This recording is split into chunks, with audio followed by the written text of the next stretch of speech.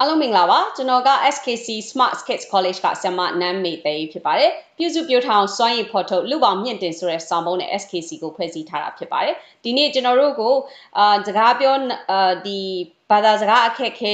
မပြောနိုင်သေးတဲ့နာကြကရိယာစပြီးတက်ခါစကလေးတွေကိုဘယ်လိုသင်ရမလဲဆိုတဲ့အကြောင်းအရာကိုအာဒီနေ့ဆရာမ Novi Dubo ကနေပြီးကျွန်တော်တို့ကိုပုံမြင်လေးတစ်ပုဒ်နဲ့ရှင်းလင်းဆွေးနွေးပေးတော့မှာဖြစ်ပါတယ်အားလုံးအဲဒီနေ့ ပညာဗဟုသုတများစွာရမယ်လို့ကျွန်တော်မျှော်လင့်ထားပါတယ်ဆရာမမင်္ဂလာပါကျေးဇူးများတင်ပါတယ်ဆရာမကြီး joining လုပ်ပေးတဲ့အတွက်ကျေးဇူးများတင်ပါတယ်ဟုတ်ကဲ့မင်္ဂလာပါကျွန်မကတော့အဲတည်တဲ့အတိုင်းပဲညီမနာမည် PQ ခေါ်ပါဆိုဒီနေ့ကျွန်မပြောမဲ့ခေါင်းစဉ်ကတော့ဒီနားထောင်ဆိုတဲ့အဲ learning to listen furniture ဒီပုံမြင်လေးကိုပေါ့နော်ဘာသာပြန်ထားခြင်းဖြစ်ပါတယ်ဒါပေမဲ့လို့အရင်ကတော့ကျမတို့ဘာသာပြန်နေဖတ်ပေမဲ့လို့ခုခါမှာဆိုလို့ရှိရင် ဒီဘာသာပြန်တဲ့အတိုင်းပဲဒီပုံမြင်လေးအတိုင်းပဲစကားပြောနေတဲ့ကလေးတွေအများကြီးရှိပါတယ်ဒီလို live လုပ်တဲ့အတွက်ကြောင့်မလို့ပေါ့နော်ဆိုတော့စချင်းမှာဆိုလို့ရှိရင်သူက Vanessa သူဒီစာကိုရေးတဲ့အချိန်မှာသူရဲ့မိခင်ဒီစာကိုရေးတဲ့အချိန်မှာ9နှစ်ခွဲအရွယ်နာမကျကလေးတယောက်ပါတဲ့သူမဟာတာမန်လူတွေတက်တဲ့နာကြားကြောင်းတစ်ကြောင်းမှာပဲကြောင်းတက်နေပါတယ်တဲ့သူ့မှာ3နှစ်အရွယ်မောင်လေးတယောက်ရှိပါတယ် သူ့အမေကတော့အချိန်ပိုင်းအလုပ်တစ်ခုကိုလုပ်ခဲ့ပူပါတယ်ဒါပေမဲ့ဗနီဇာဟာသူအကြားအာရုံချွတ်ရွံ့တယ်လို့သိရတဲ့အချိန်ကနေစပြီးတော့သူ့အမေကဒီအတန်နဲ့ဆိုင်တဲ့လေ့ကျင့်ခန်းတွေကိုငကြက်နဲ့နားထောင်တဲ့လေ့ကျင့်ခန်းတွေကိုစတင်လုပ်ရတယ်အဲ့ဒီအချိန်ကနေစပြီးတော့သူ့ရဲ့အချိန်ပိုင်းအလုပ်ကိုသူထွက်လိုက်ရပါတော့တယ်တဲ့ဆိုတော့ဗနီဇာဆိုလို့ရှိရင်16လအရွယ်မှာနာကြကရိယာစတက်ရပါတယ် ဗနီဇာလေးနားမကြောက်ဆိုတာအဲ့ဒီအဲစေးစစ်ချက်အဖြစ်ထွက်လာတဲ့အခါမှာကျမဟာမတန်မှပဲအတော်လေးထိတ်လန့်မိသွားပါတယ်လို့သူ့အမေကပြောပါတယ်တစ်ချိန်တည်းမှာပဲတဲ့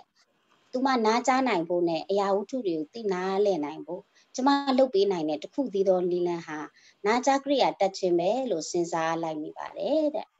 ကျမမှတ်မိပါသေးတယ်တဲ့ဗနီဇာလေးပထမဆုံးအကြိမ်နာကြားကရိယာကိုတက်ပေးတဲ့အခါမှာ ဘာမှထူးခြားမှုမရှိပါဘူးတဲ့ကျမသူ့နာမည်ခေါ်ရင်လည်းသူလှည့်မကြည့်ဘူးပုံစံမြင်ရင်လည်းမသိလိုက်ပါကပဲဖေဖေပြန်လာပြီလို့ပြောတဲ့အခါမှာလဲသူကတကားဝနာကိုသွားပြီးတော့စီးမကြူပါဘူးတဲ့အဲ့ဒီခါမှာဆိုလို့ရှိရင်သူလိုချင်တာတွေကိုသူကလက်ညှိုးထိုးပြီးညွှန်မယ်ဒါမှမဟုတ်ရင်អော်ပြီးတော့တောင်းမယ်ဒီကလေးဟာပတ်ဝန်းကျင်မှာအတန်ကြီးရှိတယ်ဆိုတာဒါမှမဟုတ်ရင်လည်းတိတ်ဆိတ်နေတယ်ဆိုတာတိကောတိရလားဆိုပြီးတော့မှ ကျမကနေပြီးတော့အဲသူတတိထားမိဟန်မရှိဘူးလို့အဲ့လိုပဲတန်တရားဖြစ်မိပါတယ်အစကတော့သူနော်နဝေတိန်အောင်ဖြစ်ရပါတယ်ဒီငကြက်တက်ပေးရတာနဲ့ဘာကြောင့်ကလေးကမကြားရတာလဲပေါ့တကယ်တော့ကလေးကနော်18လအရွယ်ဆိုပေမဲ့လို့မွေးကလေးကသူဘာအသက်မှမကြားခဲ့ရတဲ့အတွက်နော်တကယ်ဒီဘာသာစကားဖွင့်ဖြိုးမှုမရှိခဲ့ဘူးဒါကြောင့် သူ့ရဲ့အကြားအာရုံဖွင့်ဖွင့်မှုဟာမွေးကင်းစကလေးတယောက်လိုပဲဖြစ်နေတယ်ဆိုတာကျမကမကြခင်မှာပဲသိလိုက်ရတယ်တဲ့ဒီလိုနကြက်တက်ပြီးမကြခင်မှာသူ့ရဲ့အုံနောက်တွေကိုအတန်နေအတန်တွေကိုအုံနောက်ကနေပြီးတော့လိုက်ပြီးတော့မှတ်သားပါတော့တယ်ဗီနီဇာလေးကိုနကြက်တက်ပြီးပြီးတော့တိတ်မကြခင်မှာပဲကျမဟာကလေးစေးရုံတစ်ခုကဒီ the hospital for sick children ကဆရာမတယောက်နဲ့သူအဆက်အသွယ်ရခဲ့ပါတယ်တဲ့အဲ့ဒီအပတ်ထဲမှာပဲဗနီဇာကိုစတင်ပြီးတော့နားလေ့ကျင့်ခန်း auditory training ကိုစတင်လုပ်ရပါတော့တယ်အရင်ကနားလေ့ကျင့်ခန်းဆိုတာကြားတော့မှမကြားဘူးတဲ့နော်ဆိုတော့စကြားစားမှာတော့ဘလို့လေ့ကျင့်ခန်းမျိုးလေးလဲဆိုပြီးတော့သူစိတ်လှုပ်ရှားမိတယ်ရင်ထိတ်မိသေးတယ်တဲ့ ဒါပေမဲ့အဲ့ဒီဆရာမနဲ့တစ်ချိန်ပဲတွေ့လိုက်ရတဲ့အချိန်မှာသူ့ရဲ့စိုးရိမ်ပူပန်မှုလေးတွေဟာတက်တာရရသွားပါတယ်တဲ့။ဘာလို့လဲဆိုရင်တဲ့သူ့ကိုတင်ပေးရတဲ့နီလန်းတွေဟာအင်မတန်မှရိုးရှင်းရိုးရိုးရှင်းရှင်းလေးတွေပဲဖြစ်ပါတယ်တဲ့။ငကြက်ကနေတဆင့်အတန်ကိုဘလို့နားထောင်ရမလဲ။အဲ့လိုလေးပဲတင်ပေးဖို့ဖြစ်ပါတယ်တဲ့။ဆရာမကဒီကျမကိုလေရင်ပြန်ကားယထာနွားဘဲယုံကြောင် ခွေးတိုးအစရှိတဲ့ဒီငှက်ပေါက်စရုပ်လေးတွေကိုဝယ်ခိုင်းပါတယ်တဲ့။ဘာကြောင့်လဲဆိုတော့စကားစတင်တဲ့ကလေးတွေရဲ့ပထမအဦးဆုံးအတန်ဟာဒီအယုတ်ကလေးတွေရဲ့အတန်နေနဲ့ဆက်ဆက်နေလို့ပဲဖြစ်ပါတယ်တဲ့။ဆိုဥပမာကျမဒီဘာဘာဘာဆိုလို့ရှိရင်ဘတ်စကားကိုပြောတာနော်အာဆိုလို့ရှိရင်လင်းပြန်ကိုပြောတာပြီးရင်ညောင်ညောင်လို့ပြောရင်ဒါကြောင်ကိုပြောတာ ဂတ်ဂတ်ဆိုဘဲကလေးစသဖြင့်ပေါ့ဆရာမကလေးတွေစကားမပြောတတ်ခင်မှာစကားတန်ဒီဘလုံးပထွေထွက်တဲ့အတန်မျိုးကစားရင်းနဲ့ပြောပြီးဖို့ကျမကိုညွှန်ကြားပေးပါတယ်တဲ့ကစားရင်းနဲ့တခြားကလေးတွေစကားပြောသမျိုးဒီလိုမျိုးစကလုံးတစ်လုံးစပြီးတော့သူပြောပေးခိုင်းပါတယ်သူနဲ့စကားပြောတဲ့အခါမှာလဲနီးနီးကက်ကက်ပြောပေးဖို့လိုအပ်ပါတယ်ဒါမှသူ့ရဲ့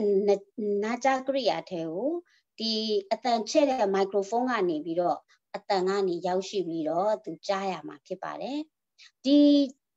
စကားပြောတဲ့သူနဲ့ဒီမိုင်နာမိုက်ခရိုဖုန်းနဲ့အကွာအဝေးဟာလေးလက်မနဲ့ရှစ်လက်မအကွာအဝေးအနေအထားဟာအကောင်းဆုံးပဲဖြစ်ပါတယ်လို့ဆရာမကပြောပါတယ်အဲ့ဒီဆရာမနဲ့စုံပြီးတဲ့အချိန်ကနေစပြီးတော့နားလိကျင့်ငန်းတွေဟာ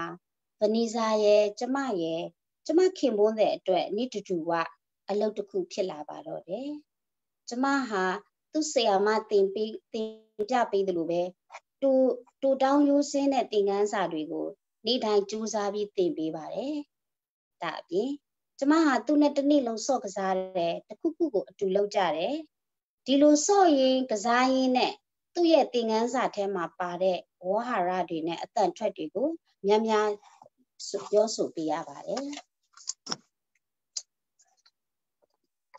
သူကြားပံများတဲ့အခါမှာ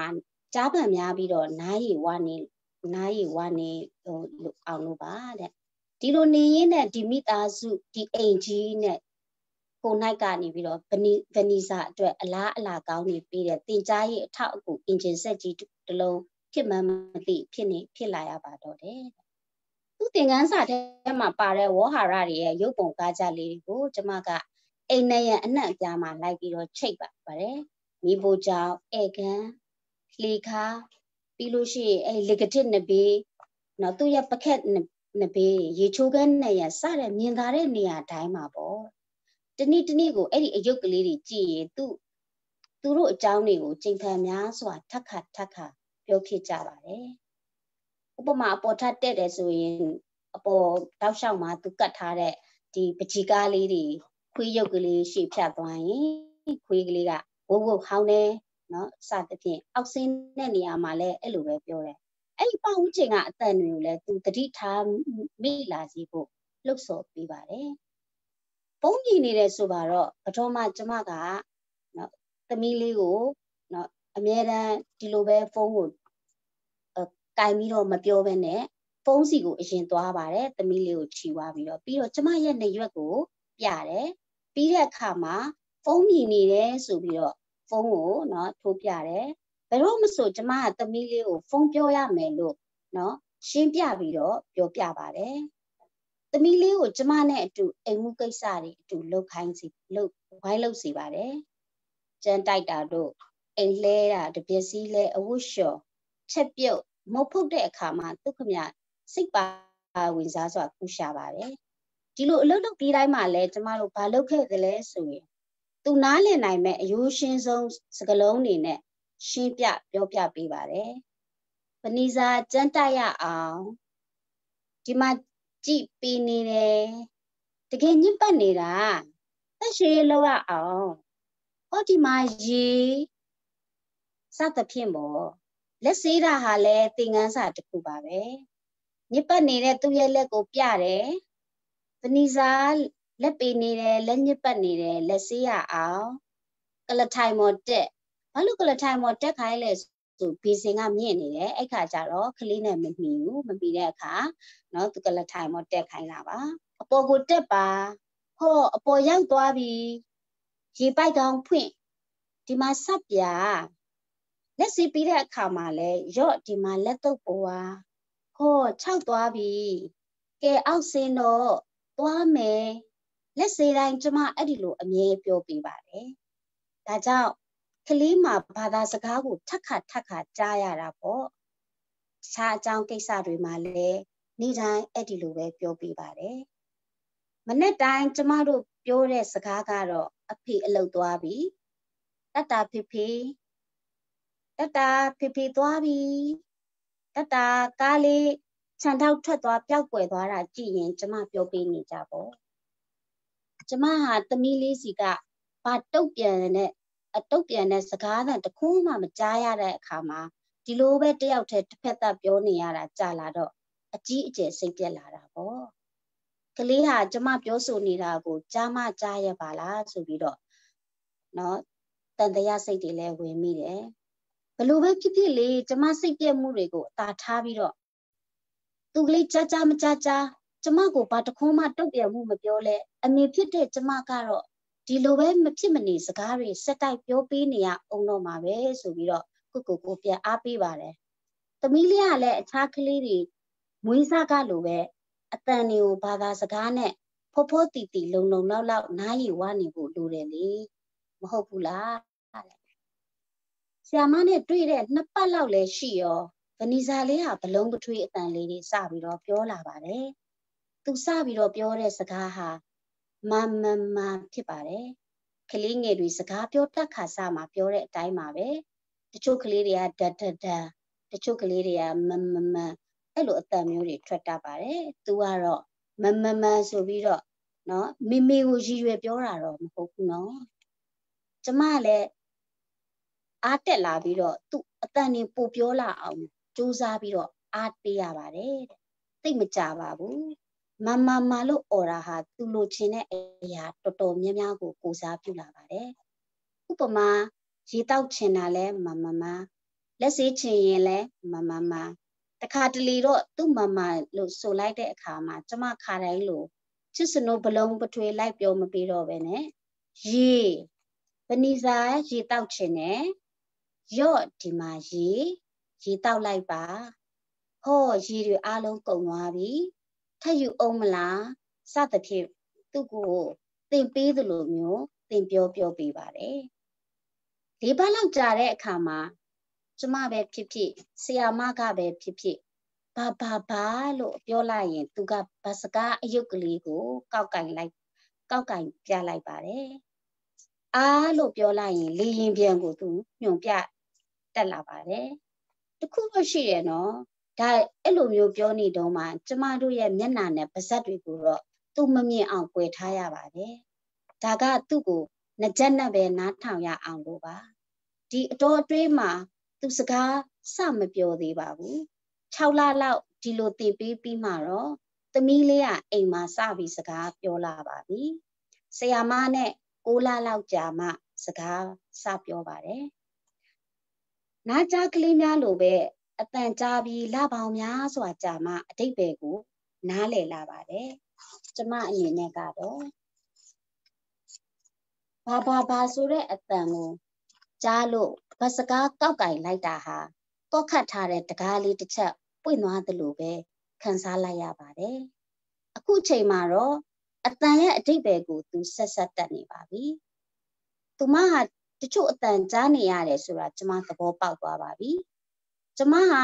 သူမကိုအားပေးပြီးသူနဲ့အတူဆက်ပြီးလှုပ်ဆောင်ရမှာဖြစ်ပါတယ်အဲ့ဒီနောက်မှာတော့သူမမှာဘာသာစကားတဖြည်းဖြည်းဖွံ့ဖြိုးလာပါတော့တယ်သူမဟာငကြက်ကနေပြီးမှန်မှန်ကန်ကန်နားထောင်တက်လာပါပြီတရိษံတွေရဲ့အတန်ကိုလည်းသိနေပါပြီကျမဟာသူ့ကိုစကလုံးအစ်စ်တွေထပ်တင်ပေးပါတယ်ဥပမာပန်းဖနက်ဘောလုံး အခြားရိုးစင်းတဲ့စကလုံးတွေကိုလည်းသူ့ရဲ့သင်ခန်းစာထဲထည့်ပေးပါတယ်။ကုံသွားပြီမရှိတော့ဘူးပူတယ်အေးတယ်လုံးတယ်ပြားတယ်အပေါ်မှာအောက်မှာရက်ပါသွားပါမြန်တယ်နှီးတယ်စသဖြင့်ပေါ့ကျမဟာသူမကိုအရင်အတိုင်းသင်ခန်းစာတူတူလေးတွေကိုသင်ပေးပါတယ်နေ့စဉ်ပုံမှန်လုပ်တဲ့အတိုင်းပဲပေါ့ ကစားလိုက်စကားပြောလိုက်နဲ့ရက်အတော်များများကြာခဲ့ပါတယ်ဗနီဇာနှစ်နှစ်လောက်နှစ်နှစ်အရွယ်လောက်မှာတော့ကျမနောက်ထပ်ကိုဝန်ရှိလာပါတယ်ဒါကြောင့်သူ့ကိုပွိချီပြီးကစားရတဲ့သင်ခန်းစာမျိုးတွေလုပ်ပေးနိုင်တော့ပါဘူးအဲ့ဒီအတော်အတွင်းကျမဟာသူ့အတွက်ပုံအတော်များများဆွဲပေးဖြစ်ဖြစ်လိုက်ပါတယ်ကျမဟာပုံဆွဲညံ့သူပါဒါကြောင့်ရိုးစင်း ပုံရိုးရိုးစင်းစင်းပဲဆွဲပြီးတရုပ်ဖော်ပြပါတယ်ကျမမျက်နာကိုကြည့်စရာမလိုပဲသူကြားနိုင်လောက်တဲ့အနေအထားမှာစကားပြောပြပါတယ်ဥပမာကျမလက်ဖက်ရည်ခွက်ပုံဆွဲရင်ဒီမှာလက်ဖက်ရည်ခွက်ဒီမှာကြည့်ကင်ကြည့်လေဟောပူတယ်ကျမလက်ကိုခါပြလိုက်တယ်ပြီးတော့လက်ဖက်ရည်ခွက်ကိုမှုတ်တယ်နောက်တစ်ခါကင်ကြည့်ပါ အခုမပူတော့ဘူးဒီလိုပုံဆွဲပြီးတော့စာတင်တဲ့ကစားတာကိုသူသိတဲ့ဘောကြတယ်နာရီဝက်45မိနစ်လောက်ကြာအောင်သူသင်ယူနိုင်ပါတယ်။တနေ့ထဲမှာလည်းနှစ်ကြိမ်သုံးကြိမ်ကစားနိုင်သေးတယ်။သင်တန်းကာလကြာလာတဲ့နဲ့အမျှပုံမှုရှုပ်ထွေးတဲ့ရုပ်ပုံတွေလည်းပါလာတာပေါ့။မေမေနဲ့ဗနီဇာဈေးဝယ်ထွက်ကြမယ်။ဗနီဇာပကက်စီးတယ်။ဖေဖေ TV ကြည့်တယ်။ ဖေဖေမျက်ရိပ်တယ်။ဗနီဇာမေမေနဲ့မုတ်ဖုတ်တာကိုကူညီတယ်စသဖြင့်ပေါ့သူ့အသက်2နှစ်နဲ့3နှစ်ကြားမှာတော့ကျမနဲ့သူကျမနဲ့စာအုပ်မဂ္ဂဇင်းတွေကိုအတူတူကြည့်ကြတယ်ကျမဟာမြင်းကလထိုင်ပေါ်ထိုင်ပြီး rocking horse လို့ခေါ်တာပေါ့နော်သူ့ကိုပေါင်ပေါ်မှာကြောပေးထိုင်စေပါတယ်သူ့ရဲ့ပခုံးကိုကြော်ပြီးရုပ်ပုံတွေရဲ့နာမည်အကြောင်းအရာတွေကိုပြောပြပေးပါတယ် ဒါမှသူ့နှစ်ချက်နဲ့ကျမပါဇက်ဟာရှစ်လက်မအကွာအဝေးနေရာမှာရှိရှိနေအောင်လို့ပါရုပ်ပုံတွေအများကြီးထဲမှာရုပ်ပုံအဘိဓမ္စာအုပ်သူ့ကိုစတင်ပေးပါတယ် Richard Scanning Words book ကိုတော့သူကြိုက်ဆုံးပဲဖြစ်ပါတယ်စာအုပ်ထဲကပုံတွေကိုကြည့်ရင်လည်းပြဇတ်ထဲကလို့ပြောပြပေးပါတယ်အကယ်၍ပန်းတပွင့်ကိုကြည့်တယ်ဆိုပါစို့ပန်းကလေးကလှတယ် နမ်းကြည့်ရအောင်လို့ပြောပြီးစာအုပ်ကိုနမ်းလို့ရတဲ့အနေအထားလေးမြှောက်လိုက်ပါတယ်ပြီးတော့ပန်းခူရအောင်လို့ပြောပြီးဟန်ဆောင်ပြီးတော့ပန်းခူပြပါတယ်။ပဏိစာပန်းကလေးကိုခူးလိုက်ပြီးနန်းကြည့်ရအောင်စသဖြင့်ပေါ့ဒီလိုပုံဆွဲတာစာအုပ်ဖတ်ပြတာတွေကြောင့်ဗနီစာဟာနော်ဟန်ဆောင်ခြင်းအတတ်ပညာကိုသူဟာစောစောစီးစီးသူဟာ တက်မြောက်ပြီးတော့သူ့ရဲ့ဘာသာစကားဖွံ့ဖြိုးမှုအတွက်အများကြီးထောက်ကူပေးပါတယ်။သူသုံးနှစ်မပြည့်ခင်မှာပဲတနေ့တနေ့ကိုဟန်ဆောင်တရုပ်ဆောင်ခြင်းတွေအကြိမ်ကြိမ်လုပ်ပြတတ်ပါတယ်။ပြဿနာထဲကလို့ပေါ့။ဥပမာဆိုပါတော့ကျမစီကိုတခုခုလာပေးတရားသူဟန်ဆောင်တယ်။ကျမကလည်းဟန်ဆောင်ပြီးတော့အဲယူယူထားလိုက်တယ်။ကျမတို့တကယ်တရုပ်ဆောင်နေကြတာပါ။ဆိုပါတော့ဦး ပန်းလေးကလှလိုက်တာပန်းကလေးကိုငါချစ်လိုက်တာနန်းကြည့်ရအောင်ဒီမှာနန်းကြည့်ပါပန်းကလေးကိုရေလိုနေတယ်ရေနည်းနည်းလောင်းပေးရအောင်အဲ့လိုတွေပြောပြီးတော့ကျမတို့ကအဝကျဲတဲ့အိုးတစ်လုံးကိုယူလာတယ်ပြီးတော့ရေလောင်းတယ်အိုးသေးသေးလေးကိုယူပြီးတော့ရေတကယ်လောင်းထည့်တယ်ပြီးတော့အိုးကြည့်စမ်းမလှဘူးလားလှတယ်နော် စပွဲပေါ်မှာတင်ထားရအောင်ဟောစပွဲပေါ်ရောက်သွားပြီလှလိုက်တဲ့ပန်းကလေးဒီလိုစကားတွေကို तू သိတဲ့ဘောကြတာကစားပြီးသွားတဲ့အခါမှာတခိခိရဲလိုက်သေးတယ်တကယ်တော့ပန်းအစ်စ်တပွေးမှမရှိပါဘူးကျမတို့နှစ်ယောက်ကတကယ်ပဲယူမနေဘူးလားဒီလိုကစားနည်းတွေကိုထက်ခါထက်ခါကစားစင်မှာအရာဝတ္ထုတွေစီကို ကျမသူ့ကိုညွှန်ပြပေးပါသေးတယ်ဒီကစားနည်းဟာစကား မပြောမဖြစ်တဲ့ကစားနည်းတွေပါဆိုလိုတာကကျမကစကားပြောရတယ်ဗနီဇာကတော့သိစကားမပြောဘူးနှစ်နှစ်ခွဲအရွယ်မှာဗနီဇာပြောနိုင်တဲ့စကားကဂါဂါအောင်နဲ့အတိတ်ပဲကတော့သူ့မှာပန်းတပွေးရှိတယ်တဲ့သူဆိုလိုတာနဲ့သူ့ရဲ့အတန်ထွက်ကမစီရေးမှမဆိုင်တယ်လို့ပဲလို့ဆိုရပါမယ်ကလေးလေးတိုင်းဒီလိုပါပဲလေ စကားမပြောတတ်ခင်မှာဒီအစ်စ်ကိုဖြတ်ကျော်ရစမြဲပါပဲကလေးငယ်တူဦးဟာစကားစမပြောတတ်ခင်မှာတော်တော်များများကို နားလည်ထားနေပြီဖြစ်ပါတယ်ကျမဟာသူမသိသေးတဲ့စကားလုံးတွေကိုထက်ခါထက်ခါပြောပြပေးပါတယ်။ဘာကြောင့်လဲဆိုတော့ဒီလိုကြားဖတ်များမှသာစကားလုံးတစ်တွေကိုသူသင်ယူတက်မြောက်လာနိုင်မှာမို့လို့ပါ။ကျမဒီလိုပဲခံစားလာမိတာကလည်းတကြောင် ဒါကြောင့်မို့လို့အဲ့လိုပဲပြောပြပါတယ်။ဖေဖေသွားပြီတတာဖေဖေထွက်သွားပြီတတာသူနားလေသွားပြီလို့ယူဆရတာနဲ့နောက်တစ်မျိုးပြောင်းပြီးတော့ဖေဖေသွားပြီ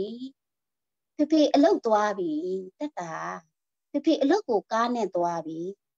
အဲ့လိုမျိုးတရက်ထဲမှာပဲခဏခဏမေးပေးတာကတော့ဖေဖေပဲသွားလဲသူကပဲပြန်ဖြေမလဲနော်ကျမကပဲကိုမေးတဲ့မိကိုကို ကိုပြန်ဖြေရတာပေါ့ဖေဖေအလုတ်သွားတယ်ဖေဖေအလုတ်ကိုကားနဲ့သွားတယ်ဖေဖေရုံးမှအလုတ်လုတ်နေတယ်ဒီနေ့အတိုင်းကျမလာပေါင်းများစွာပြောပြပေးပါတယ်ဒီနေ့မှာတော့ကျမကဖေဖေပဲသွားလဲလို့မေးတဲ့အခါသူကရုတ်တရက်ဖေဖေအလုတ်လုံးလို့ပြန်ဖြေပါတယ်ဒါနဲ့ကျမကဟုတ်တယ်ဖေဖေရုံးမှအလုတ်လုတ်နေတယ်ဖေဖေနေ့တိုင်းရုံးမှအလုတ်လုတ်တယ်ကလေးကရုံးဆိုတာရဲ့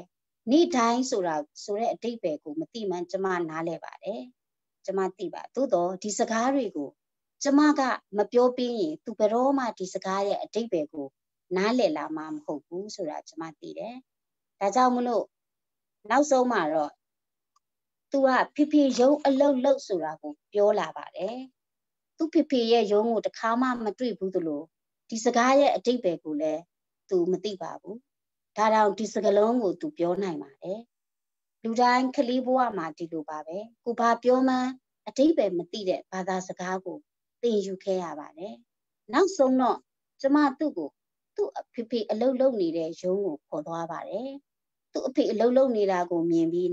နောက်မှတော့သူနားလဲသွားပါတော့တယ်တခြားအကြောင်းအရာတွေကိုလည်းကျမဒီနေ့အတိုင်းပဲလုပ်ပေးပါတယ်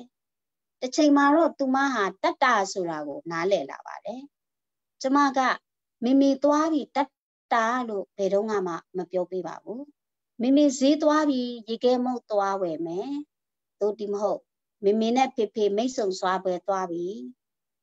စသဖြင့်သွားမယ့်နေရာကိုပါပြောပြပါတယ်ကျမကောင်းကောင်းသိပါတယ်စီဝေးပွဲမိတ်ဆုံစားပွဲဈေးဆိုတဲ့ဝေါ်ဟာရတွေကိုသူနားမလဲပါဘူး သို့တော့မကြမကြပြောပေးတဲ့အတွက်ကြောင့်အဲ့ဒီစကလုံးတွေကိုသူနားလည်လာပါတယ်အခုတော့သူ9နှစ်တင်းတင်းပြည့်သွားပါပြီကျမကစီဝေးပွဲသွားမယ်လို့ပြောရင်ဘသူတွေနဲ့အဲ့ဒီကိုသွားမှာလဲဂျိမ်းဆိုမေမေရောသွားမှာလားအဲ့ဒီမှာဘာတွေပြောကြမှာလဲစသဖြင့်စုံနေအောင်ပြန်မေးတတ်နေပါပြီဗနီဇာရဲ့ဘာသာစကားတိုးတက်မှုအခုလို စောင့်ကြည့်ရတာတကယ်ကိုစိတ်လှုပ်ရှားစရာပါကြည့်ရတာသူ့အတွက်လုံလောက်တဲ့အကျိတ်အရေးအတွက်အထိကျမထက်ခါထက်ခါပြောပေးလိုက်လို့သာစကလုံးအတုံးအနှုံးတွေကိုသူနားလည်ပြီးသုံးတက်သွားတာဖြစ်ရမယ်သူသုံးနှစ်သမီးအရွယ်ကလေးကစိတ်တစနံတွေဥပမာစကားစုတွေအစရှိတဲ့ရှင်းပြရခက်တဲ့ဝေါဟာရတွေကိုအစဉ်တစိုက်သူနားရည်ဝအောင်ကျမပြောပေးနေခဲ့တာပါ တချို့စကလုံးတွေဆိုရင်ရေချိုးခမ်းမိဖို့ကြောင့်တွေမှာပါကတ်ထားလိုက်သေးတယ်ဒါကြောင့်ကျမခင်မွန်းနဲ့ကလေးထိတ်အပါဝင်ဧည့်သည်တွေပါဒီစကလုံးတွေကိုမြင်တွေ့သွားပြီးအမှတ်တမဲ့အသုံးပြုမိစေပါတယ်ဒီလိုဝါဟာရတွေကတိတ်များများဆဆတော့မဟုတ်ပါမဟုတ်ပါဘူးအားလုံးအလွယ်တကူမှတ်မိနိုင်ပါတယ်တသွက်လေးဟင်းအင်းခဏနေမှရှင်းလာ စတဲ့စကားမျိုးတွေက ထိတ်ဆုံးတာပေါ့စိတ်ရှုပ်လာပြီနော်ပကကလုံးမနေနဲ့စိတ်ဆူလိုက်မယ်နော်စတာတွေလည်းမပါမဖြစ်ထည့်ပြောရပါတယ်တခုခုမလုပ်ခင်မှာကျမသူ့ကိုကြိုတင်ပြီးအမြဲပြောပြထားပါတယ်ဗနီဇာတို့ဒါပြီးရင်သွားကြမယ်တတာမေမေနဲ့ဗနီဇာခဏနေသွားကြမယ်တတာတို့ကားနဲ့သွားကြမယ် ဒီတခါတော့ဗနီဇာဟာတတ်တာလို့ပြောလာပါတယ်ပြီးတော့ချစ်ချင်းပဲသူသွားချင်နေပါတယ်အော်ပြင်းအော်နေတော့တာပဲကျမတို့ကတကယ်မှမသွားသေးတာကိုကျမကသူ့ကိုရှင်းပြရပါတယ်အခုမဟုတ်သေးဘူးနောက်မှနောက်မှသွားမယ်တတ်တာမနှက်ဖြတ်မှဘာလုပ်မယ်ဆိုတာကြိုသိထားရင်သူ့ကိုကြိုပြီးပြောပြထားပါတယ်မနှက်ဖြန်ဖွားဖွားအိမ်သွားမယ်တတ်တာ ဒါနဲ့သူကသွားချင်စိတ်နဲ့အော်ပြီးအော်တော့တာပဲအဲ့လိုဖြစ်ရင်ကျမကထပ်ပြီးရှင်းပြရတယ်အခုမဟုတ်သေးဘူးမနှက်ဖြန်မှာဖွားဖွားအိမ်ကိုမနှက်ဖြန်မှာသွားမယ်တခါတလေသူ့ကိုမအော်ခိုင်းစီချင်တဲ့အတွက်ဘာလုပ်ရမယ်ဆိုတာကြိုမပြောပြချင်ပါဘူးဒါပေမဲ့ကျမအမြဲကြိုပြောထားပါတယ်တကယ်လို့အဲ့ဒီလိုကြိုမပြောပြထားရင်အချိန်ကာလအပိုင်းအခြားဝေါ်ဟာရတွေကို သူဘရောမှထိတွေ့သိခွင့်ရမှာမဟုတ်တော့ပါဘူးနားလည်ဖို့လည်းမဖြစ်နိုင်တော့ဘူးအခုမဟုတ်ဘူးမနေ့ကမှဒီညဒီညနေနောက်တစ်ပတ်နောက်နှစ်ရက်နှွေရသည်မင်းရှိနှစ်ပြည့်တဲ့အခါတနေ့မှာတော့သူကြီးလာရင်ဆရာမဖြစ်ချင်ကြောင်းကျမကိုပြောပြပါတယ်အရင်ကတော့သူကြီးလာရင်နတ်သမီးလေးဖြစ်ချင်ကြောင်းပြောပြပါတယ် ဒီမှာကြီးလာရင်ဆိုတဲ့စကားစုလေးဟာကျမသူ့ကိုနားလည်စေချင်ခဲ့တဲ့စကလုံးစရင်ထဲမှာတစ်လုံးပေါ့အချိန်တန်တော့လေသူ့အလိုလိုနားလည်လာပြီးမှန်မှန်ကန်ကန်သုံးသက်သွားပါပြီဒီအချိန်ကဗနီဇာရဲ့စကားဟာလူတိုင်းနားလေသဘောပေါက်နိုင်တဲ့စကားမဟုတ်သေးပါဘူးဒါပေမဲ့အမြဲတမ်းသူ့ကိုမြင်တွေ့နေကြလူတွေကတော့သူဘာပြောသလဲဆိုတာနားလည်ပါတယ်ဗနီဇာပြောတဲ့စကားဟာအလွန်ကောင်းပါတယ် အချိန်ကာလကြာလာတဲ့အမှသူမရဲ့စကားပြောခြင်းဟာလည်းတိုးတက်လာမှသိချပါတယ်လို့သူ့ဆရာမကအားပေးစကားပြောပါတယ်ကျမနဲ့ကျမခင်ပွန်းမှာသူ့စကားကိုနားမလည်တဲ့ပြဿနာလုံးဝမရှိပါဘူးကျမတို့ပြောတဲ့စကားတွေအားလုံးဒီပါသူ့အတန်ထွက်နိုင်ပါတယ်စကားပြောခြင်းဟာအချိန်ကာလနဲ့သက်ဆိုင်တယ်လို့သိလာတဲ့အချိန်မှာကျမဟာတမယိုးကြနီလန်းတွေကိုသိမလုပ်တော့ပါဘူး။ဘာကြောင့်လဲဆိုတော့ ဗနီဇာဟာတခြားကလေးတွေလိုပဲသူမရဲ့ကိုယ်ပိုင်စကားတိုးတက်လာဖို့အတွက်တနည်းကြရင်သူကိုယ်တိုင်စကားပြောချင်လာမယ်ဆိုတာကျမခံစားမိလို့ပါပဲ။ဗနီဇာကိုနှစ်နှစ်ကတည်းကတာမန်နားကြားတဲ့ကလေးတွေကျောင်းမှာပဲတက်စီခဲ့ပါတယ်။သူ့ကိုနိကလေးထိန်ကျောင်းမှာစထားတဲ့နေ့ကိုကျမဘယ်တော့မှမမေ့ပါဘူး။နားကြားတဲ့ကလေးတွေအချင်းချင်းစကားပြောနေမိကုန်းတွေမင်းနေကြတာ ကျမကိုတကယ်ပဲစိတ်ဓာတ်ကျစေခဲ့ပါတယ်။ဘာကြောင့်လဲဆိုတော့ဗနီဇာဟာအဲ့ဒီတုန်းကရိုးရိုးစင်းစင်းစကလုံးနှလုံးသုံးလုံးလောက်ပဲဝကြလုပ်ပြီးစကားပြောနိုင်ပါသေးတယ်။သူဟာကျမရဲ့သူ့ဖေဖေရဲ့နောက်ပဲစကားပြောခဲ့ဘူးတော့သူ့စကလုံးတွေကိုလည်းမိဘများဖြစ်တဲ့ကျမတို့သာနားလဲပါတယ်။သို့တော်လည်းကျမတို့ကံကောင်းပါတယ်။ဘာဖြစ်လို့လဲဆိုတော့ နိကလေးထိန်ကျောင်းကဆရာမဟာလည်းကျမတို့အိမ်မှာလုပ်တယ်လို့မျိုးပဲအထူးသဖြင့်ဗနီဇာအတွက်လုပ်ပေးကြပါတယ်။ဗနီဇာပြန်ပြောသည်ဖြစ်စေပြန်မပြောသည်ဖြစ်စေသူတို့စကားပြောပေးပါတယ်။သူဟာလပေါင်းအတော်ကြာကြာလေးတိတ်ဆိတ်နေခဲ့ရမှနောက်ဆုံးတော့စကားစပြောလာပါတယ်။အဲ့ဒီအချိန်မှာသူ့ရဲ့ဆရာမများဟာလည်းလွန်စွာပဲကြည်နပ်ကြပါတော့တယ်။ဒီနေ့မှာတော့ သူတဲ့တဲ့အကြောင်းကကြီးကြပ်ရေးမှုဖြစ်သူကျမစီကိုဖုန်းဆက်တုံစိတ်လှုပ်ရှားခဲ့ရပုံလေးကိုဘယ်တော့မှမမေ့နိုင်ခဲ့ပါဘူး။ကြီးကြပ်ရေးမှုကပြောပါတယ်။မနေ့တိုင်းမင်္ဂလာနနေ့ခင်းမှာဗနီဇာဒီနေ့ဘလို့နေပါသလဲဆိုပြီးနေ့စဉ်မေးလာခဲ့သမျှ9လလောက်မှတုတ်ပြန်မှုမရှိ9လအထိတုတ်ပြန်မှုမရှိခဲ့တဲ့ဗနီဇာဟာဒီနေ့မှာတော့မင်္ဂလာနနေ့ခင်းမှာလို့ပြန်ဖြေတဲ့ အော်စရာမကောင်းဘူးလားဗနီဇာမိမိရေတဲ့အခုရေးပြီးသလောက်ဖတ်ရှုရတာဟာလွယ်လွယ်လေးပဲလို့ထင်စရာပါသို့ပေမဲ့ပူပွိလင်းလင်းပြောရရင်တော့တကယ်မလွယ်ကူခဲ့ပါဘူးအထူးသဖြင့်ပထမနှစ်နှစ်ကာလမှာစိတ်မောလူမောဖြစ်ခဲ့ရပါတယ်အချိန်တော်တော်များများကိုလည်းသင်ခန်းစာပြင်ဆင်ချိန်သူနဲ့တင့်တော်တဲ့စာအုပ်ရဖို့စာကြည့်တိုက်သွားချိန် အခြားသောနာကြားကလေးတွေနဲ့ကစားဖို့ပြင်ဆင်ပေးရသူနဲ့စကားပြောပေးရသူသိချင်သမျှရှင်းပြပေးရနဲ့အချိန်တွေကုန်ခဲ့ရပါတယ်မနဲ့ပြန်ဆိုတာကိုဘလို့မှရင်မဆိုင်နိုင်တော့ဘူးလို့တောင်ခံစားရတဲ့နေ့တွေကဒုနဲ့ဒီပါအိပ်ပျော်ရာကနိုးလာတဲ့ညအတော်များများမှလည်းခုသမီးလေးနားမကြားဖြစ်ရတဲ့အတွက်ငိုကြွေးခဲ့ရပါတယ်ဒါကလည်းကျမအတော်ကလေးပင်ပန်းမောဟိုက်နေတာကြောင့် ဖြစ်ကောင်းဖြစ်ပါလိမ့်မယ်။သို့တော်လည်းဗနီဇာရဲ့ဘာသာစကားတက်ကြွလာချိန်မှာတော့အရာရာဟာလွယ်ကူပြီးရင်လွယ်ကူသွားပါတော့တယ်။စူးစမ်းအားထုတ်မှုအလုံးနဲ့လှုပ်သိလှုပ်ထိုက်တဲ့အရာတွေလှုပ်ဆောင်ပြီးဆက်လက်လှုပ်ဆောင်စဉ်မှာကျမတို့အမှန်တကယ်ရရှိလာတာကတော့အလိုအမီဝမ်းမြောက်ခြင်းပါပဲ။မမေတခုခုပြောကြရအောင်သူကပဲဆက်ပြီး ဟိုးမမေငယ်ငယ်တုန်းကအကြောင်းလေးတွေပြောကြရအောင်လေအဲ့လိုပြောလိုက်တဲ့အချိန်ဟာကျမရရှိလိုက်တဲ့အကောင်းဆုံးတွေကအပြောဆုံးအချိန်ပါပဲပုံမြင်လေးကတော့ဒါပါပဲတကယ်မိခင်တူဦးကနေပြီးတော့နာမကြသမီးငယ်လေးကိုသူကိုယ်တိုင်ဒီစောက်ပြုစုစောက်ရှောက်ခဲ့ပြီးတော့အခြားနားမကြတဲ့မိဘတွေလည်းသူကလေးတွေကိုပြန်လဲပြီးတော့ တင် जा တတ်ဖို့အတွက်သူ့အတွေ့အကြုံလေးကိုဝေမျှထားပါတယ်။ကျေးဇူးအများကြီးတင်ပါတယ်။ဟုတ်ကဲ့ပါကျေးဇူးအများကြီးတင်ပါတယ်ဆမရဲ့ဒီပုံမြင်လေးကတကယ်ကို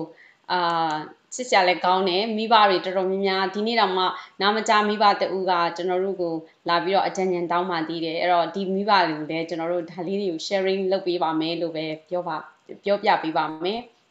နောက်ထပ်မိဘတူကတော့ Zoom ထဲမှာလာပြီးတော့အာဆမနဲ့အသေးစိတ်လေးပြောပြပြောချင်တဲ့အတွက်အာနောက်မိဘတူကတော့စောင့်နေပါတယ်အာဒီပုံမြင်လေးကိုနားထောင်ခြင်းအပြင်မိဘတွေတော်တော်များများကအာ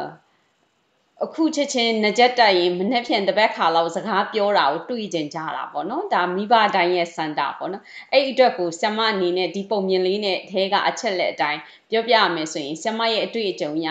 ဘယ်လောက်ကြာမှကလေးတွေကအာဒီစပြီးတော့စကားပြောလာဖို့အတွက်အထောက်အကူဖြစ်တယ်ဆိုတာလေးကိုအနည်းငယ်လေးမိဘတွေစိတ်တက်မကြအောင်ပြောပြပေးစီတူပါတယ်ကျေးဇူးများတင်ပါတယ်ဆ iam ဟုတ်ဟုတ်ကဲ့ပါကလေးရဲ့ဒီငကိုအကြားနှုံးပေါ့သူတို့ရဲ့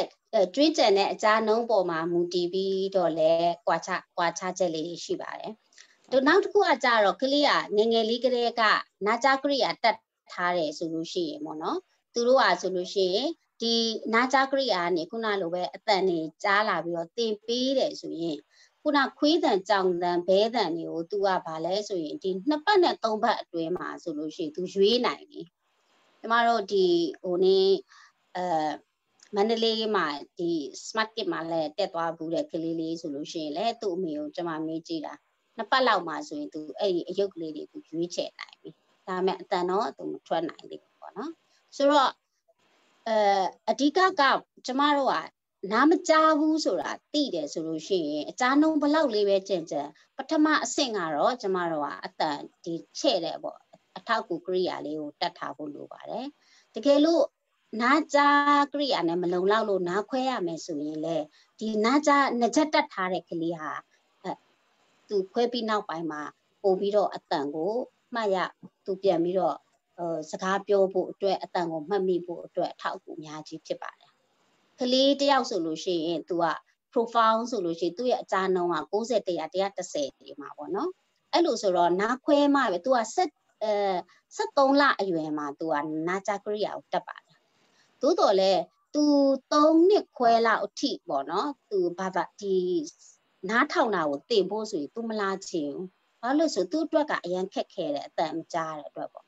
ဆိုတော့နောက်ဆုံးတော့သူ့မိဘတွေကအဲနားခွဲဖို့ဆုံးဖြတ်လိုက်တဲ့အချိန်မှာ၃နှစ်ခွဲရောက်သွားတယ်သို့တော်လည်းသူကျမပေါ့နော်သူရှေ့ရက်နဲ့သူပေါ့အတန်ကိုသူစပြီးတော့ထုတ်လာနိုင်တယ်ဘာလို့လဲဆိုတော့73လကနေပြီးတော့သူ3နှစ်ခွဲအထိကဒီနာကြာကရိယာကိုသူတတ်ထားတဲ့အတွက်နားခွဲပြီးနောက်ပိုင်းမှာရှစ်ရက်မြောက်တဲ့နေ့မှာဆိုရင်သူနား ထောင်တာမကဘူးသူအတန့်မှာသူစပြီးတော့ပြုတ်လာနိုင်တယ်ပေါ့နော်ဒါကြောင့်မလို့ကျမကဒီဟိုတချို့ကလေးခုနကတော့စကားပေါ့အဲခုနဗနီဇာလိုပဲဖောင်ဖွဲ့ပြီးပြောနေနိုင်တယ်9နှစ်6နှစ်အရွယ်မှာအဲ့ကလေးလေးဆိုလို့ရှိရင်ခုနကျမနှစ်ပတ်လောက်မှာဘဲရုပ်တွေကြောင့်ဟိုမြင်းရုပ်တွေရွေးနိုင်ပြီသို့တော့သူဒီတစ်နှစ်ကျော်တဲ့အထိ73လလောက်အထိကိုသူက စကားမပြောသေးဘူးစကားဥမာပပမမားတော့မခေါ်ဘောနော်ပပအဲ့လိုပေါ့စကားတစ်လုံးစနှလုံးစအဲ့လိုပဲပြောတယ်အဲ့ဒီကနေမှအအများကြီးချစ်အဲ့လိုပေါ့နော်လေးလုံးပြောလာတယ်ပြီးတော့သူပေါ့ကျမသူ့ကိုပြန်တွေ့တဲ့အချိန်သူနားကြတက်ပေါ့နားကြတက်ဒီ16လနဲ့18လအဲ့ဒီနောက်ပိုင်းမှာအရန်လီမြန်ပြီးတော့မှစကားပြောတာပါမကောက်စအုတ်တီဖတ်နိုင်တယ်နော် သူ့ရဲ့ဒီ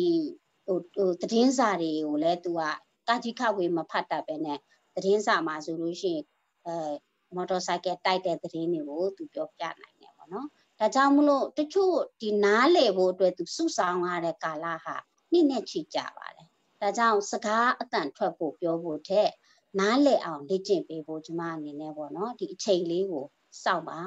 တာမန်ကလေးတွေလည်းစကားပြောဖို့17လ တစ်နှစ်တစ်နှစ်ကျော်စောင့်ရတယ်လို့ပဲကျမတို့ဒီနာနှကြက်တက်လိုက်တယ်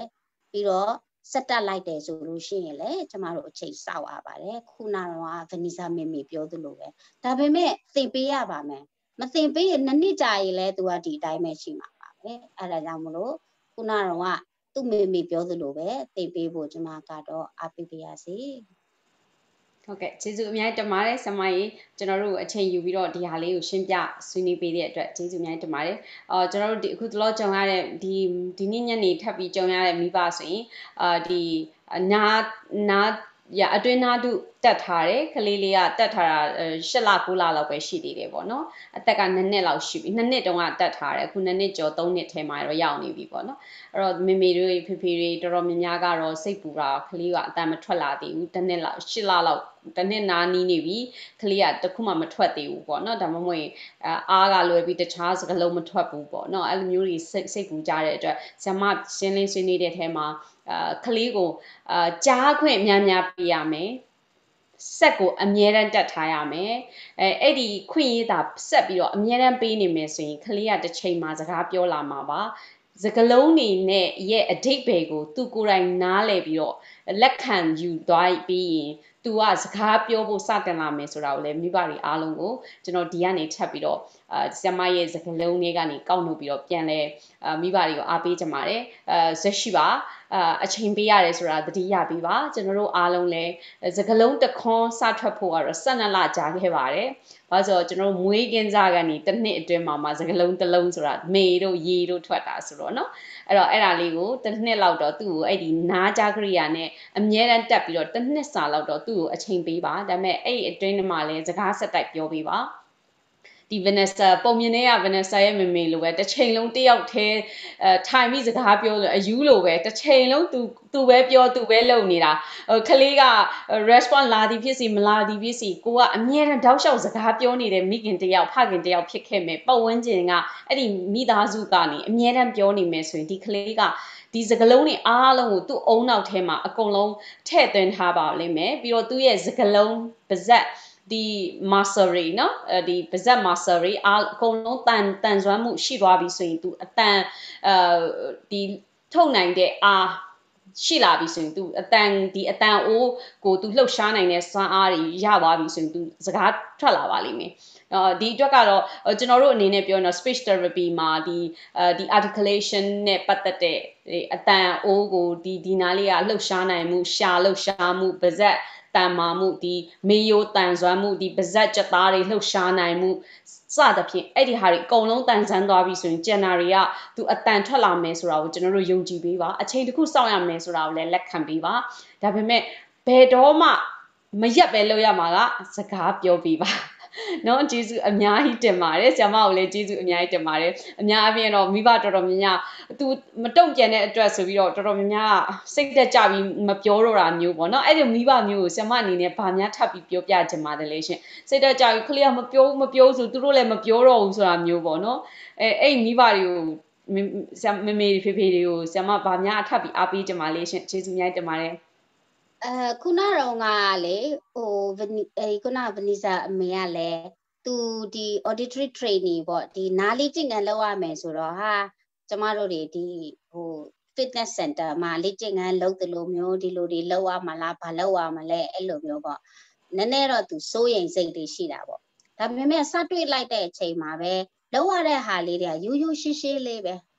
ဥပမာလက်ဆေးတယ်ဆိုရင်လက်ကိုပြပြီးတော့ လက်ပေနေတယ်ဆိုတော့လက်ဆေးရမယ်ဆိုတော့ကျမတို့အဲဘေးစင်ကိုသွားတယ်ဒါမှမဟုတ်ရင်အဲဆေးအိုးစီသွားတယ်ရေခွက်နဲ့ဆိုရင်လည်းရေခွက်နဲ့ခတ်လောင်းတယ်ဒါလေးတွေကိုဟောလှုပ်ရှားနေတဲ့ဟာအားလုံးကိုကျမတို့ကပြောပြမှာစပ်ပြတိုက်တယ်ရေပြန်လောင်းတယ်လက်တုပ်ပေါ်နဲ့တုပ်တယ်ဆိုတော့အဲ့ဒါမျိုးလေးတွေပေါ့နော်ဟိုကလေးကိုကျမတို့အင်ဂျီလဲပေးတယ်ဆိုလို့ရှိရင်လည်း ဒီမှာဟိုစွတ်လိုက်တယ်လက်ထဲတယ်ဘဲလက်ထဲတယ်ညာလက်ထဲတယ်ဟောဒီမှာအဲအင်ဂျီမှာအယုတ်ကလေးပေါ်တယ်ဆိုလဲဥမာဘောလုံးပေါ်တယ်ဒါမှမဟုတ်ရင်မှုလေးနဲ့ဒီဥစားထီဆောင်နေတဲ့ပုံလိုမျိုးအယုတ်ကလေးတွေဗနီလေးပုံပါတယ်ဆိုစသဖြင့်အဲ့ဒါတွေကအကုန်လုံးသင်ကြားလို့ရတယ်ဆိုတော့ ဒီလိုပဲဟိုစားပေါ့ဟိုဟိုမြန်မြန်ပြီးတယ်ဟိုစားထဲ့တယ်အဲ့လိုမျိုးမဟုတ်ပဲねထမင်းစားတယ်ဆိုရင်လည်းဒီမှာပေါင်းအိုးတယ်မမေပေါင်းအိုးဖွင့်တယ်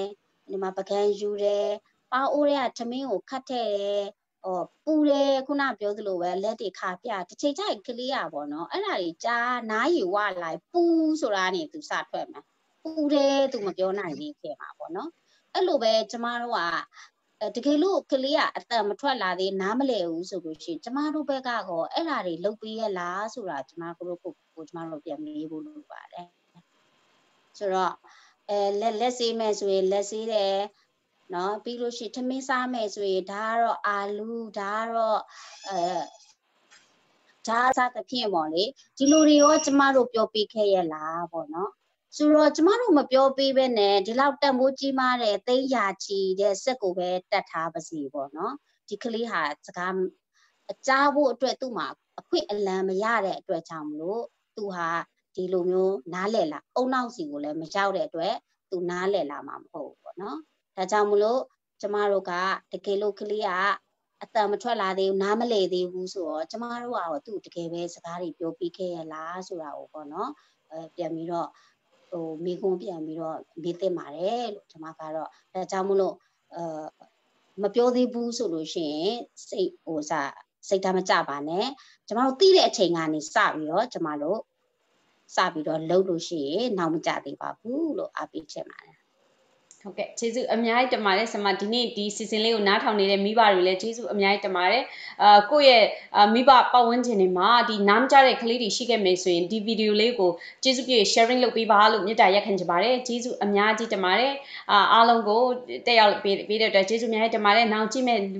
ပုဂ္ဂိုလ်တွေအားလုံးမိဘတွေဆက်ဆံမတွေအားလုံးကိုလည်းကျေးဇူးအများကြီးတင်ပါတယ်ဆမကိုလည်းကျေးဇူးအများကြီးတင်ပါတယ်အထူးသဖြင့်ဆမကကျွန်တော်တို့အမြဲတမ်းဒီနားကြကလေးတွေနဲ့နားမကြကလေးတွေနားကြကရိယာတက်ထားတဲ့ကလေးတွေဒီနားထုတက်ထားတဲ့ကလေးတွေအတွက်ကိုပညာတွေဘဝတုရများစွာဖလှယ်ပေးတဲ့အတွက်ကျေးဇူးအများကြီးတင်ပါတယ်ဆမကိုလည်းအမြဲတမ်းတွေ့ပြရစီကျေးဇူးအများကြီးတင်ပါတယ်ဆမကြီး thank you ပါဟုတ်ကဲ့ပါဟုတ်ကဲ့ကျွန်တော်လည်း SKC တဲ့ဆရာမကြီးကိုအများကြီးကျေးဇူးတင်ပါတယ်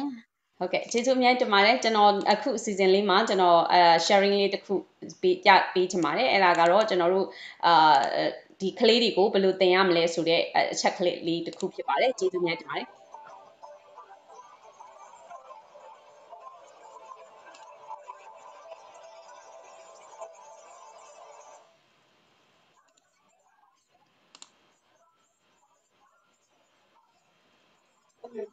ဒီလေး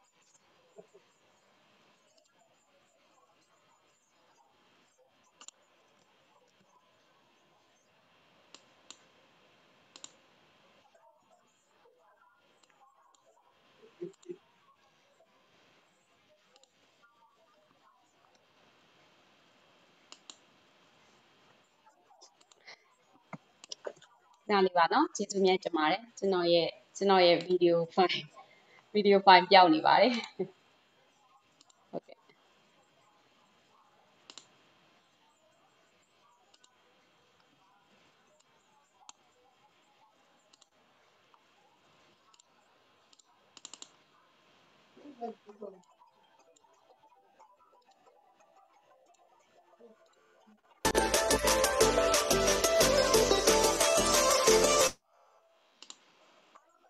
လာပါရှင် Smart Kids College မှာ teacher E ဖြစ်ပါတယ် အခုကျွန်မက အလွယ်တကူရနိုင်တဲ့ ပစ္စည်းတွေကို အသုံးပြုပြီး ကလေးရဲ့ ဖွံ့ဖြိုးမှုအတွက် အထောက်ပံ့ဖြစ်စေတဲ့ game activity လေးတစ်ခုကို မျှဝေပေးသွားမှာ ဖြစ်ပါတယ်ရှင် အသုံးပြုမဲ့ပစ္စည်းတွေက A4 စာရွက် ရေဘူးအဖုံး နှစ် ခုနဲ့ ရေးဆွဲဖို့ မာကာဖန် ပဲ ဖြစ်ပါတယ်ရှင် စာရွက်ပေါ်တွင် ပုံစံတူ လားရဖက်ဆန့်ကျင်တဲ့မြင်းချောင်းတွေကိုရေးဆွဲပြီးရေဘူးအဖုံးပေါ်တွင် ကလေးရက်လက်တင်စေပြီးမြင်းချောင်းအတိုင်းပြိုင်တူလှုပ်ရှားစေမှာဖြစ်ပါတယ်။ဒီလိုဂိမ်းလေးတွေနဲ့ကစားခြင်းအပြင်ကလေးတွေကမျက်စိနဲ့လက်တွဲဖက်လှုပ်ဆောင်နိုင်တဲ့စွမ်းရည်တွေပုံမကောင်းမွန်လာစေမှာဖြစ်ပါတယ်။အာယုံစူးစိုက်မှုအားပုံမကောင်းမွန်စေပြီးဘယ်ဘက်အုံနောက်ကညာဘက်အုံနောက်ပါတပြိုင်နက်တည်း ဖွံ့ဖြိုးတိုးတက်မှုအားပိုမိုကောင်းစေမှာဖြစ်ပါတယ်ရှင်။အသက်3နှစ်ကနေစတင်ပြီးလေ့ကျင့်သင်ကြားပေးလို့ရပါပြီ။အားလုံးကိုကျေးဇူးတင်ပါတယ်